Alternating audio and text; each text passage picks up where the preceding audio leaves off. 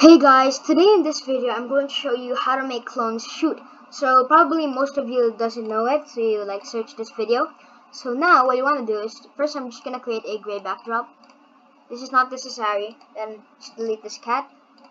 I'm going to make a new sprite, which is me, the player. So let me just make a white dude. There we go. Now, I'm going to make a new sprite called clones. So graphics, the graphics kind of sucks. It's fine because it's just a demo. The important thing is the code. You could improve the graphics there. Let's pretend this is me, which is in sprite one. Then these are the clones. When flag clicked, we want them to hide, of course, because the sprite we want to hide the original sprite.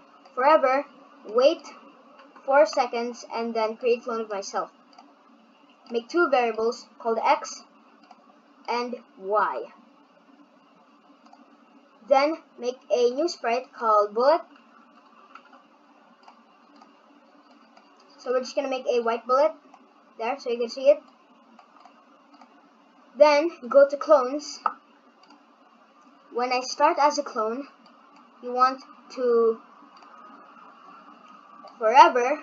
Also, you want to make them show. Go to x 240 pick random. I'm just gonna do this so it's like fixed 180 to negative 180.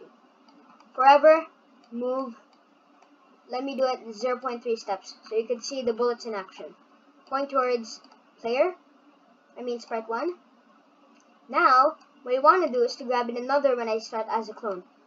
Don't put the code what don't put the code right here. Make sure you grab in another when I start as a clone or else it won't well it would work but it's gonna be buggy and you won't like it. So grab any forever. Set x to x position. As you can see I think most of you already know get the idea. Set y wait set y to y position. So basically it sets the x and y position to the clone because it's when I start as a clone. Also you want to make it wait wait one seconds I mean pick random 1 seconds to 1.5 seconds. So it won't malfunction. Go to bullet I mean go to clones. You want to make a new message called shoot. Then go to bullet. When I receive shoot create clone of myself. When I start as a clone you want to go to X and Y. Okay let's just hide these variables then you want to go to, I mean, show, you want to make them show, then grab an A repeat until touching edge, move 10 steps, and then delete this clone. So now, this should really do it. So now, let's see. Wait, when flag click, you want to hide. When flag click, hide. There we go. Also for the sprite one, when flag clicked, forever uh, move three steps and point towards mouse pointer. So I'm gonna control him.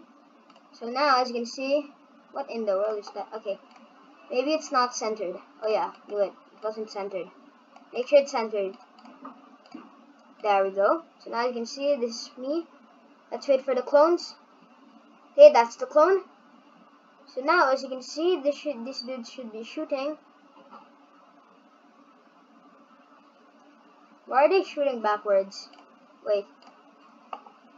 Bullet. For the bullet, we want to put it right here. Center it. For the clones, center it. Okay, so we want to make a new variable called enemy direction. For all sprites, want to set enemy direction to direction. Go to bullet. You want to point in direction enemy direction. This should do it. There we go. Now let's wait for some enemies. They're really quite slow. There we go. So now, as you can see, they should be shooting. So now as you can see, look, clone, the clones are basically shooting. As you can see, clone number one, clone number two is shooting, clone number three. Let me just stand here. I'm not actually even gonna die.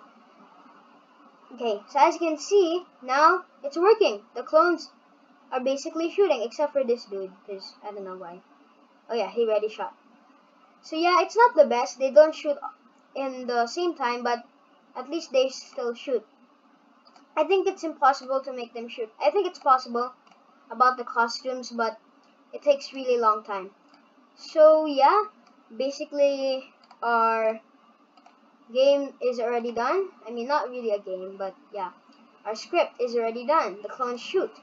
So yeah, thanks for watching. If you enjoyed it, make sure to drop a like. If you didn't, well, drop uh drop the dislike button. So yeah.